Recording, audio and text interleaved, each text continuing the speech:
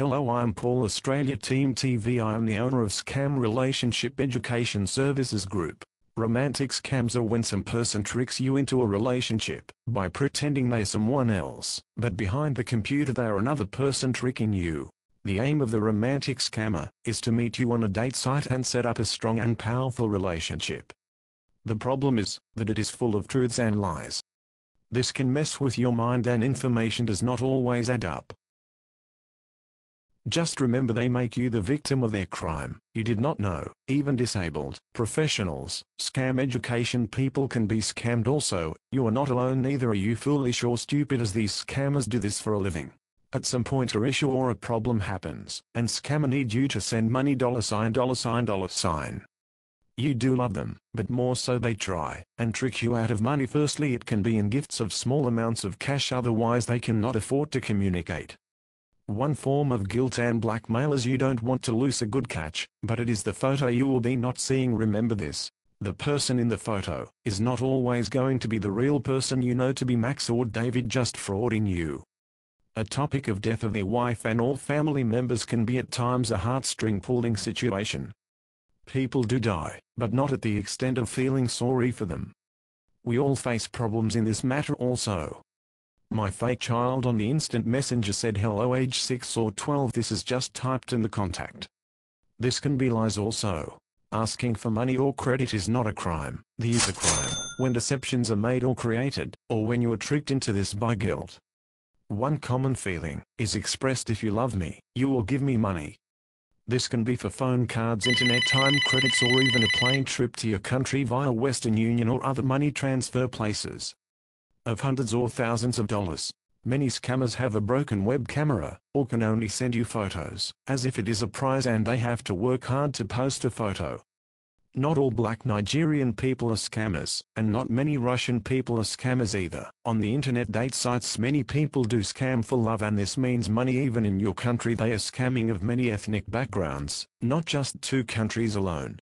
Some scammers ask for sex on the internet, called instant messenger sex then can turn it around and blackmail you, so be careful.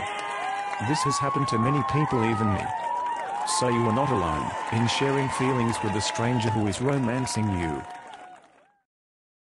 I am Paul Australia Team TV I have helped many people over the years who H has been scammed, and have upset many scammers with the help my team has given to clients in education of romantic scams, and where scamming people have been exposed for scams of romance on the internet.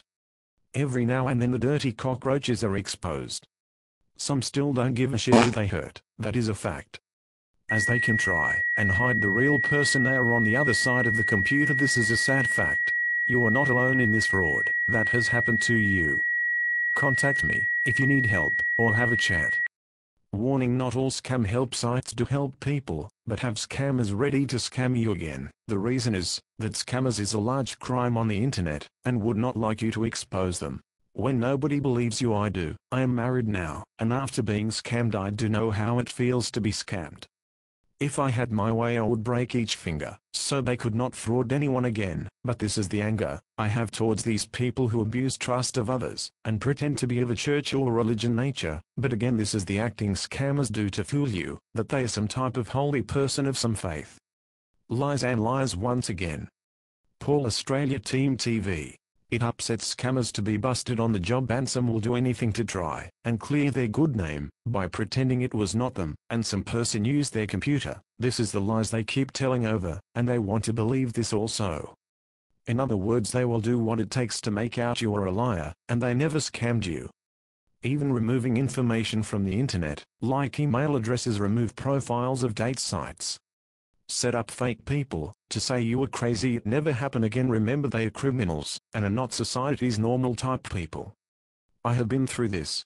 Some scams have a fake FBI or a nice policeman contacts you saying they will catch these people for a cost. This once again is about scammers at work once again.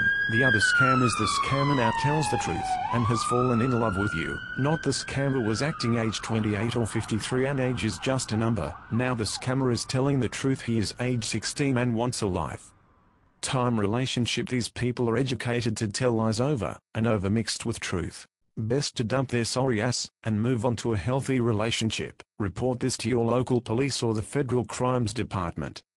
Scammers can give you fake phone numbers, links and websites to contact and have a friend or pay someone in corruption to do the dirty work once again so be careful. I am so sorry you fell for the scams and it cost you the love of your heart and all the money involved. Never cash checks checks from a stranger it could cost you fraud also with your bank from being kind.